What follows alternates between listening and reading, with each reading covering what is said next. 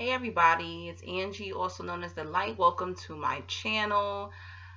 It's only a couple of days into 2019 and things are going good and bad for me. um, just really, really great days and really, really crazy days. I don't know how y'all 2019, even in the news, even with our president here in America it's just a lot of craziness, a lot of things going on with celebrities. I mean, it's just it's just wild so far. Um, but I hope everyone has an amazing 2019. Um, I'm gonna be chiming in back and forth. I don't want to lose my following. I love you guys. Um, so here's the deal. I still do take donations. If you want to send a donation to me, my Cash App and my PayPal information will either be in my description bar or in the comments section. Um, you send a donation to me and you I email you. And when I email you, I'm going to ask you do you have a topic or do you have um, a situation that you're personally going through and I'll do your own video response to your situation or to your question. You can check my other videos and I've done many before and I haven't had any complaints so far. Okay, so um I'm gonna be doing narcissistic videos and all different spiritual videos, astrology videos, all different kind of videos in 2019. Hopefully you will continue to follow me, but if not, I'm thankful that you stuck in there with me um for as long as you did. Okay, please be patient with me. I am still going through some situations with my health, legal issues, you know, just all kind of stuff. But at the end of the day, I'm a little stressed, but I'm extremely blessed, especially in comparison to all the crazy things that's going on in this world. We have to, you know, um, be grateful for um, what we have and don't focus on what you don't have. And I've been also focusing on the law of attraction and renewing my mind. And that's something that a lot of people who have dealt with trauma, childhood trauma, narcissistic abuse needs to do and that's how you can renew your mind. And you know write down have a gratitude journal notebook piece of paper whatever you want. And instead of focusing on your issues or your trauma you know the things that happened in your past write down things that you are thankful for now. It don't even matter if you're just thankful that you had a piece of gum this morning that can be something that you're grateful for. I apologize for the lighting. As I said before, I have horrible lighting in my bedroom, so just excuse it. I'll try to do more videos during daylight, um, but I'm such a night owl, so my juices start flowing, you know, in my mind at night. So that's the reason why I like to record at night before I go to sleep. Okay, but yes, it's very important through your healing from narcissistic abuse that you write down things that you are grateful for and you don't focus on the shit that happened to you pretty much. And it starts to renew your mind and it has worked for me. And i'm noticing that i'm getting more um, things that i feel i deserve um, and that i've been asking for you know from god from the universe i have been getting it because i I believe that I am. And that's the thing about it. Narcissistic abuse puts you in this mindset where you don't even believe that you deserve anything. And it does take time to renew your mind, but I think they say what it takes 21 days to um to change your mind and to get into a routine of something. So 21 days, try it. Or for 30 days, just in case you need an extra couple of days write only things and only speak positively because when you speak it, your brain will react to it, okay? And narcissistic abuse, trauma, whatever it is that you suffered from, um, has literally after mine up. Okay, it really has, and um, it, it has energetically caused you to be negative to yourself, and um, it's time for that change. Okay, so if you want positivity back into your life or um, you basically want change, this is the things that you have to do. Yes, healing, it takes work. Period. You don't want to do the work, then you stay in your misery. But if you do want to heal and you um you do want to see changes in your life, you do want to heal from narcissistic abuse, you have to put in the work. No, it is not your fault that you suffered these things, but it's now your responsibility to heal and to change now that you are aware of um, what you have suffered from. Okay, so this video is gonna be pretty quick, but I I don't know. I was just thinking about how narcissists work with patterns, and how I just said if it takes 21 days to develop a habit or to break a habit, it's crazy how you know dealing with the narcissist has literally altered us in that way. And when you think about your experience with narcs, there was always a pattern, always a pattern. And because, you know, the narcissist, um, the narcissist studied you and they know that you have hope and they know that you're stuck on the person who they were in the beginning whether this was your lover, a friend, or your parent, or you know, if it was, if it was a narcissistic parent, you are trying to get that parent to love you. Okay, so what I've noticed, it was always a pattern with these damn narcs, and you didn't notice it after a while because you got used to the pattern. Basically, they did this over and over and over and over again to you. I mean, I'm sure there was people around you that might that might have said it. There was only one friend of mine who um it was crazy because she thought I was the negative one when I wasn't. I was the victim, you know. I I don't want to say that it was a victim, but I was the one who was dealing with so many narcs. So be, the narcs had me looking crazy. So she's wondering what's wrong with her to why she would sit there and let these people do these things to her. They, I think she started to think she must be doing something to them too. And one day she was like, "Don't you get it? Don't you see? Like they did this last time. It's a pattern. Like you always come to me, you always tell me that they did this, this, and that, and then you just go back. And yo, I really like when you're dealing with a narc, you really don't notice these things. You don't notice that, yo, that you've been going through this. Oh, yo, the narc literally puts you through the same routine and cycle over and over again. Okay, y'all argue about the same things. They disrespect you in the same way, sometimes just with different people, sometimes with the same people they do the sh- same shit repetitively and you just keep taking it. Why? Because you're hoping that one day you're enough. You're hoping that they'll go back to the person that you thought they were. Um, you think that there's something that you did to make them change. Um, and this is all from them telling you different things through time um, you know, they idolized you in the beginning, and then now it's like you're any all the things that they worshipped in you. Now it's all of a sudden it's a problem, okay? And this is why you don't notice the pattern. But if you are someone who's still dealing with narcissists, or you think somebody's a narcissist, I'm telling you, start writing down the things that you argued with the narc, or you're still presently arguing with the narc about um, even time when they leave you.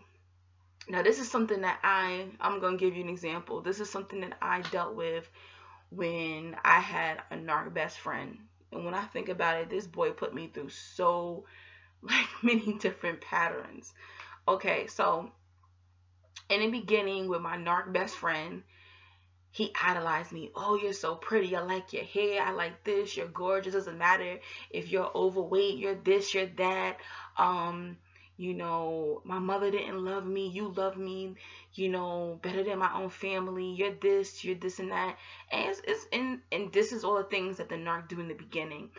they build your confidence up because you never had that before. Most likely, if you getting bamboozled by a narc, that means that you were raised by a narc, you were surrounded by narcs, you have friends who are narcs. This isn't something that just happened to you. This is something that was a pattern from your childhood, okay? And or it means that you have low self-esteem, okay? Or you have something that's unhealed from your past, from your childhood. And this is the only reason why the narc is able to get into that crack. So when you meet them, they're building your confidence up, they're building your ego up, or they're rocking you to sleep like um what's his name uses that term.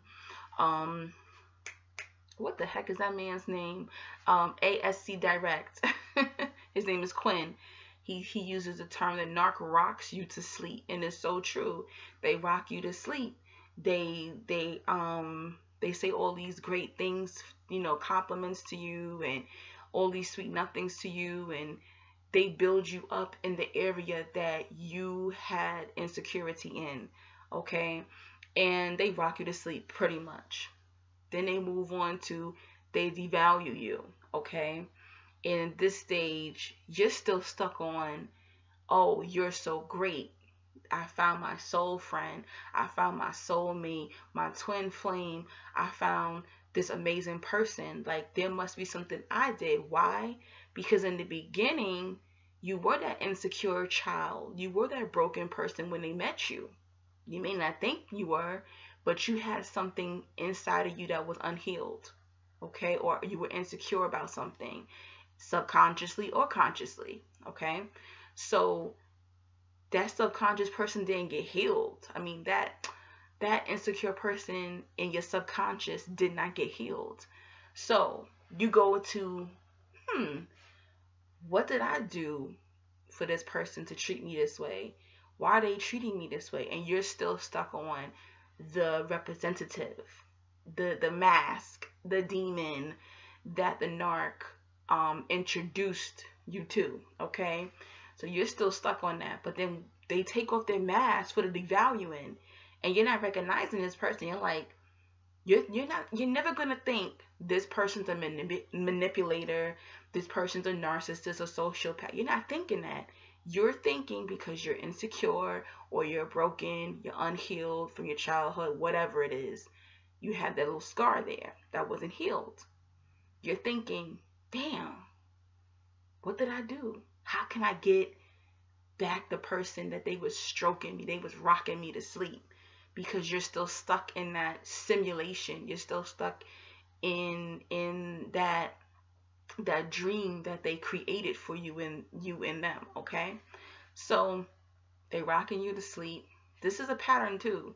It's in stages. If this was never in a pattern, psychologists wouldn't never been able to break this shit down and put it in a textbook. Okay? So they build you up, they devalue you, okay? And some of us do pick up on it. And some of us, we gonna fight them. Okay, that's what I did. I would throw things at him. I would attack him. I would curse him out. I fought back. Okay, but I wasn't fully healed. I still wanted that representation of who I thought he was.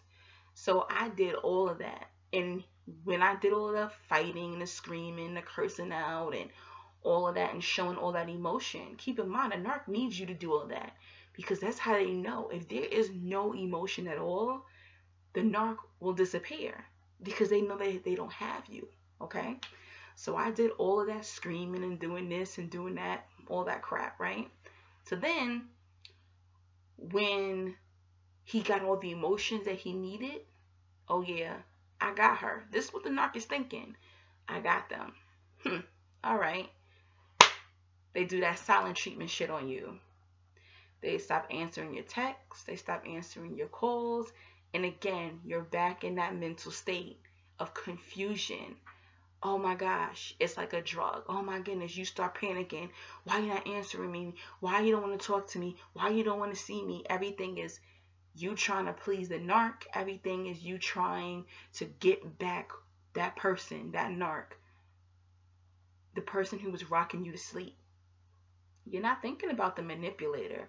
You're not thinking about the person who just automatically took the mask off and changed. You're thinking about stage one. You need to get that fixed. You need to get back. Okay?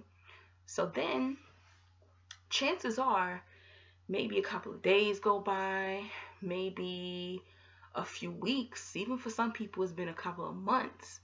You're still thinking about that narc. You're still thinking that you have this soul connection. You have, you know, you finally found everything that you wanted to find in a friend or whatever the case is. Then the narc just pops up. And, you know, every narc is different. There's going to be a narc that comes to you and says, hmm, you know what? I had some time to think and you know you was right. Okay? And this happened with me and my my ex narc best friend. You know what? You're right. We have something special. You're my soul friend or you're going to hear you're my soulmate or you know what? I can't if it's your parent, you know what? This is your home. This is where you belong. Okay? This is what you're going to hear from narc. And they're not going to say I'm sorry per se. You might hear them actually say the words I'm sorry, but me, out of the hundred narcs that I have been around, I probably only heard maybe three out of a hundred that actually use the words I apologize, I'm sorry. You're gonna hear like, you know what? Or they'll say, you know, you were right. Or they'll be around taking accountability for what they did.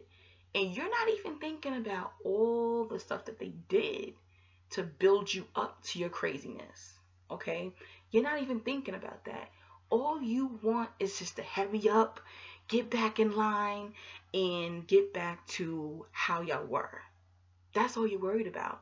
You're not worried about what they did to you, who they cheated with, they stole your money, you know, they they betrayed. You're not thinking about none of the negative stuff. All you want to do is rush back in line in order.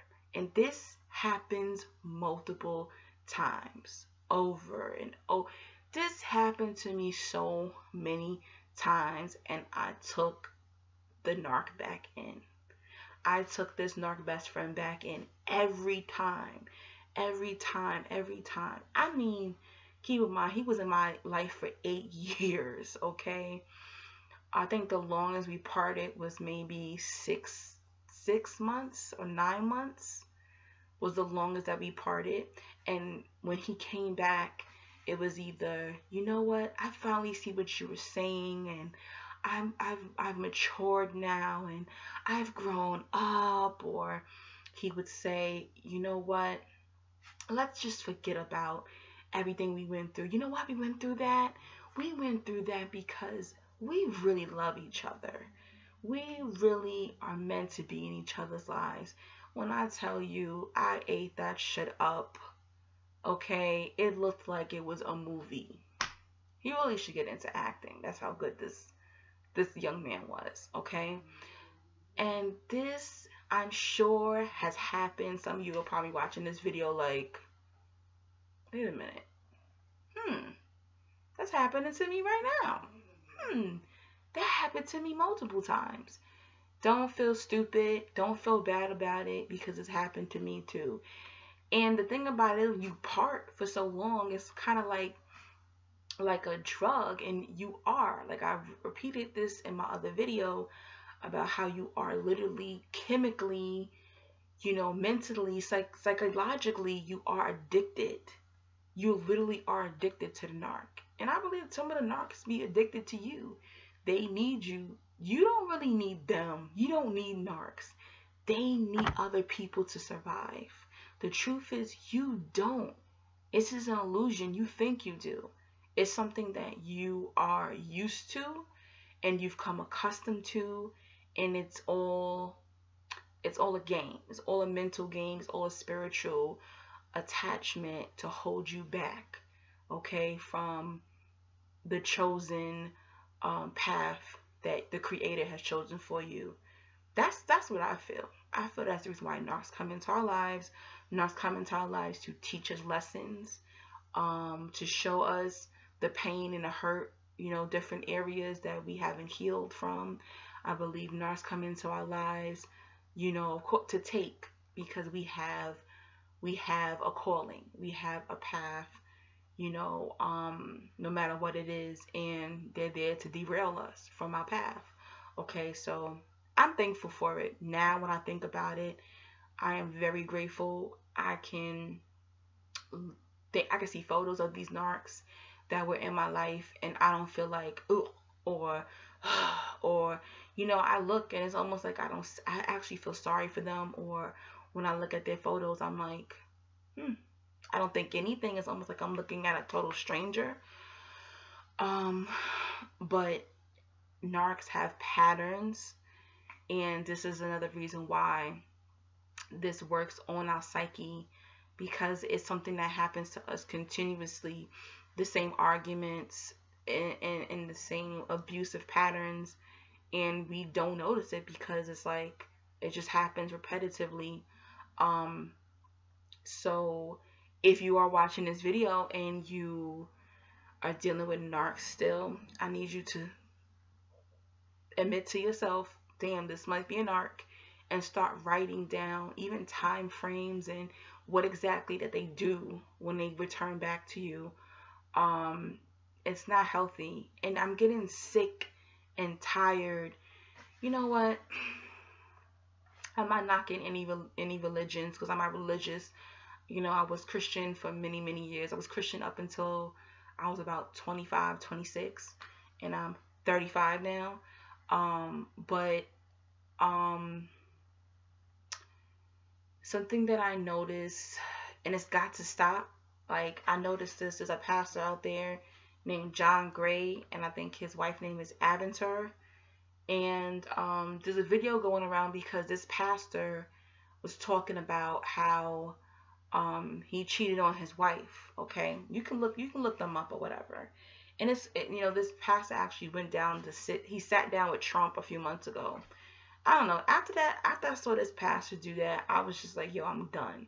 But this is this is something narcissistic I noticed. This is kind of off topic, but um something I want to say and I think that this happens a lot in Christianity or other religions is you do not have to take abuse. You don't have to take these patterns, okay? But anyway, um they were telling the pastor John Gray and his wife Aventer they were talking to a congregation of people. And he admitted, the pastor admitted that he cheated on his wife, okay? And the wife, when she told her side of the story, she said, I wasn't going to let the devil win. I wasn't going to let the devil win. You know, when he was 16, he couldn't get any girls and he let the wrong people get close to him and he cheated on me and I wasn't going to let that woman take everything I built up for and and when I started thinking about that I started thinking about that's how I felt with all the narcs. You get into this state of mind of everything you built on with that narc. Listen, listen, listen. And they kept saying the devil, the devil wasn't gonna win. I wasn't gonna let the devil win, and everything that I built on, and everything I went through with this man, and I took him back because the devil wasn't gonna get my marriage. And I'm look, I'm like, what? She blamed everything on the devil. Sometimes the devil is yourself, okay? And we do this a lot. No, we don't do this a lot. We do this with the narcissist we don't even let them take accountability. We we blame it on the devil. We blame it on ourselves, but we never say, you know what? It's you. Sometimes it's you who's the devil. What? Nah, nah, nah, nah, nah, nah, nah. Instead of this pastor taking accountability for his cheating, saying, yo, I had a weakness. I was wrong. I played myself. I almost I violated my wife. And you know, men out there, if you really want your family, don't do this. Like he didn't do none of that. He didn't do any of that. He let his wife stand there and defend him and say it was the devil. So I fought for my husband. What? And this is what we do with the narcs. And I, I used to do this all the time. I used to be like, oh, I'm praying. This when I was Christian. I'm praying for him, talking about my narc best friend. And I know that that God is going to save him and this and listen, listen, listen, listen. To this day, that young man is the same person. Okay? Call it what it is. Sometimes no that that narc is the devil. Okay? And we have to stop making excuses for toxic relationships. Stop holding on to toxic people. Stop making excuses. Just stop. Stop blaming yourself for negative behavior, especially when you sit back and like, man, I've only been good to this person and this person's violating me, straight up violating me. I'm not saying that people should just leave their husband or wife because they cheated once. I'm not saying that. I think that's a personal um, decision for people to do in their marriage. But my point is, why are you blaming the devil? Take accountabilities, and narcissists never take accountability. They never take a. They never take accountability. You know, a guy that I was seeing a couple of months ago like last year sometime. I think I told y'all this story where I had this narc friend who decided six months after I was seeing a guy to tell me that she slept with him years ago and she got cut off, but I didn't cut the guy off. But anyway, long story short, I believe the guy was a narcissist too. Instead of that narcissistic guy saying, you know what, I should have told you that I slept with your friend 10 years ago, you know, but I didn't want to tell you because I thought that that was going to mess up our chance, my chance of getting to know you more. I'm not ain't gonna say that. This fool said to me, "Oh, it was 10 years ago." What? And that's something a narc will do. Never take accountability for it. She didn't take accountability. She was like, oh, I didn't think it was important for me to tell you. She didn't even say sorry. Narc, get out of my life. Him, the same thing. At first, I didn't pick up on it like that. I picked up on it, but I was just like, you know what? Let me let me see first. Let me see how he flow after a couple of months. But every time the conversation would come up, it was just like, you still on that? Like, he never apologized. Like what? Like, man, she don't mean nothing to me. That was 10 years ago. He never apologized. Never ever. And I believe he was a narcissist as well. You know, so the thing about it is it's like there's no accountability with these narcissists, you know. And when I saw that, I know I'm jumping all over the place, but when I saw that conversation of that pastor, I was just like, this guy's a freaking narc this dude is a narc and she definitely is an empath and she's sitting there. You know she may not, may not even be an empath. She's just weak okay? And she's sitting there making excuses for her husband and because he bought her $200000 lamborghini. Like are you serious? And, and this is the things that we have done and the positions that we have placed ourselves in these toxic relationships and these relationships with these narcs. Stop making excuses for toxic behavior. Stop taking accountability for shit that other people are doing. Okay? And pay attention to the patterns of behavior with people. Um, they don't change and they don't apologize. Nothing ever changes. Okay, when I was dealing with my narc best friend, I mean, he would be on his best behavior for two weeks and go right back to the bullshit. It's that quick with these motherfuckers. Excuse my language. I just get a little hype when I talk about narcissists. it is absolutely like it, it happens within seconds. It's almost I used to be like five, four, three, two, one. They can't stay straight and narrow. These narcs cannot stay on a straight and narrow. They have to be within that corrupted spirit Because why? It is a demonic possession. It is a spirit that is um, living in them, that's controlling their life, that's controlling their every move. And they can't stay right with you. All right, I'm at 30 minutes. I don't want to go over 30 minutes in my videos anymore. Thank you guys for hanging in there with me. I'm going to continue to do more videos. Hopefully this video was entertaining to you or helpful to you in your journey of healing from narcissistic abuse or for going no contact with a narc. All right. Peace and blessings. I'll talk to you guys soon. Peace.